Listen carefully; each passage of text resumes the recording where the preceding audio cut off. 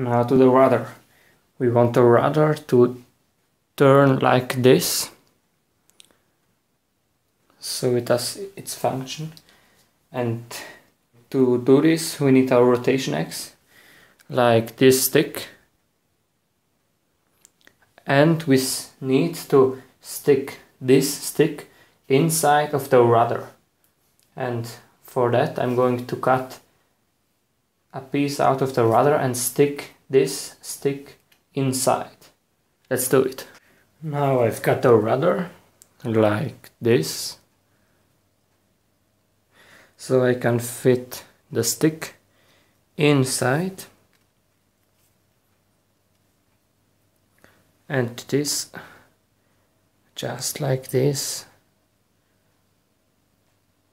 and so I can move the rudder like this. Now I only have to stick it with glue in the place. Now the glue is hard and dry and it's holding and I've put some kit it's called it's some some mass like plastilin and I put it into the hole here and so it's so smooth like before now I'm going to paint it black. Now it's time to make the shape of the deck. For that I also use a sheet of styrofoam like this and I'm going to cut with the knife and with the sandpaper and shape it like this and not glue it onto the boat because um, we have to install some components such as the keel, the rudder or um, the, the mast. Now to the keel. I took the keel which I painted and, and cut and I made a hole in the foam where I put in the piece of wood, the keel, and I made it bump proof. Now it's really stable, just like this, with glue and a piece of wood. Looks quite, quite nice. Next we have to put the, the carbon fiber boom in place. This will be the mast. I bought a carbon fiber boom 4 millimeters diameter and a meter of length and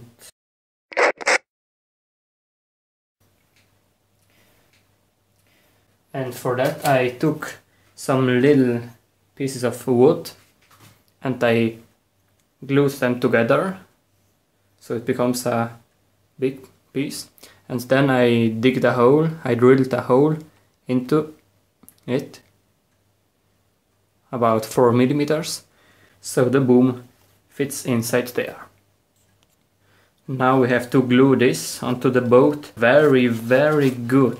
Now like you see here really much things have changed since the last video clip. And I worked hard without filming any detail or like this. So I'm going to update the the ship like it is now. Now, at first, last time we got to this point, I were about to glue this wooden piece onto the boat, and here you see the result. It is glued like really good, with some wood and some some styrofoam and so, because it has to hold the sail, and this has to hold really good. It's so good, you see. Then the next big step you surely noticed was the deck that I made. The last time it was just some piece of foam and now it looks like this, like so good. I took only some sandpaper and a knife and really much time and I ended up with this. It looks really nice. And if you put it onto the boat, and what I find that it is a really good thing about this build is that you use your foam board. Then you can spend a lot of time and work and do something like this. Or you can take the square model and let it like square. You spend a few bucks on the foam for this boat or for a simple boat. It's just how much time you put inside your work, but will always cost you the same. Now I got my little model here for some explanations. Now this is the thread which will be moving later and also this will be the same and they will steer the sails and we have to do this on the bigger boat like this. Now on this build the cord has to be tightened and untightened from a servo in here and we need a hole in the foam for this. But when we put the thread in this hole and with the forces it will cut the foam badly. So I made a little wood hole so this is for resistance. We also need this in the back. Now back to the focus of hype. This ship has this strange thing here to have the thread inside and for my boat I built something like this. I took inspiration from the focus from Hype and I have here some wooden stuff and then the thread goes through this thing. And now at last we have this big hole on the back of the boat and we have to open it to change the battery or like if something gets broken a servo like this we have to open it. And so a little thin wood plate and I formed this. And then this goes here and it closes the hole. And then with a screw later on we can unscrew it and change the battery and like this. And that's pretty much was the update and now I would say to continue with the build. So if we look at the magazine we see that the boat has much attachment points for some cords and chains. And if we just glue them to the foam this will break and it will not hold. So we need to make some wood reinforcement. So we make sure that then the cords will hold the force of the wind. This is how they look like now. These are some metal things glued in with a wooden expansion they are really tough, really stiff and you can hang in your sails and it will hold, it will not break. Then in the boat we have this wooden thing. I glued it into the boat and I painted it black. Then I have made these styrofoam things.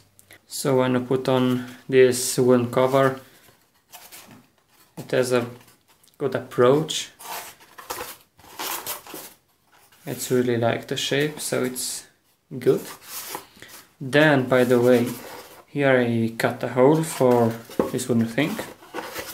And now to some other stuff. Here I made a place for the battery then here I made a place for the servo and here I made a place for the ESC I made it now because later on it will get very difficult to make it. And now to the moment all of us have waited, we can glue the deck on.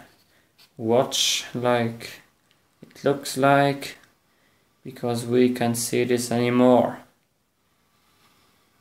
It fits nicely and here in front we see the metal hooks for the sails going through the styrofoam.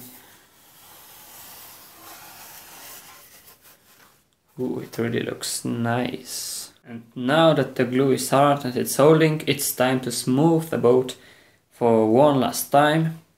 And then we are going to paint it. But we are already at the end of this episode and so we will see the paint on the other episode. So subscribe me so you don't miss any of my episodes and tune in next week for the next episode where I'm going to color the boat.